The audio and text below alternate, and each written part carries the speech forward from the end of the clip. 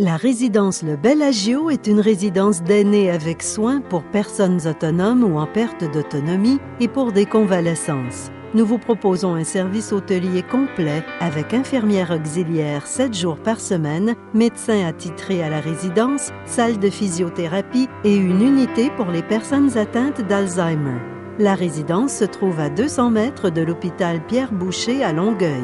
Faites le 514 746 5005.